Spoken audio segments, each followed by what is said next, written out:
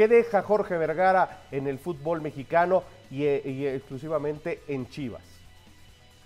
Antes que otra cosa, un fuerte abrazo a Mauri Vergara y desde luego al entorno más cercano a lo que es Chivas OmniLife, donde sin lugar a dudas eh, sí entiendo que muchas decisiones de técnicos quedaban en el aire y por ahí llegaba a ser polémica la forma de no darle quizá esa continuidad de estrategas, pero a mí me ha sorprendido notablemente la forma en que todo el entorno se ha manifestado en relación a Jorge Vergara y creo que ahí muchos que no entendían quizá lo que era Jorge Vergara, pues terminan por eh, ahora caerles el 20 de lo que ha dejado eh, como legado en Chivas. Eh, me quedo con palabras de JJ Macías, un chico que juega hoy en León, que pertenece a Chivas, que no fue bien visto por muchos en el vestidor de las Chivas, y que él dice, la forma en que, creía Jorge Vergara en el mexicano, como pocos, eh, yo creo que la mentalidad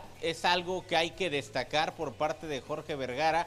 Matías Almeida lo externaba hace unos días después del deceso y creo que deja eso, ¿no? La competencia y la mentalidad que debe tener, además de preocuparse de la educación.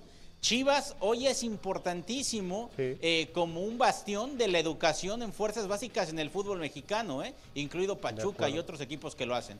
De acuerdo. Muchísimas gracias, Luis. Te mandamos un fuerte abrazo. Gran trabajo allá en Mayacobá y sigue, sigue disfrutando un poco. Venga, pues ahí está. Estoy esperando que sea viernes, Necaxa Puebla.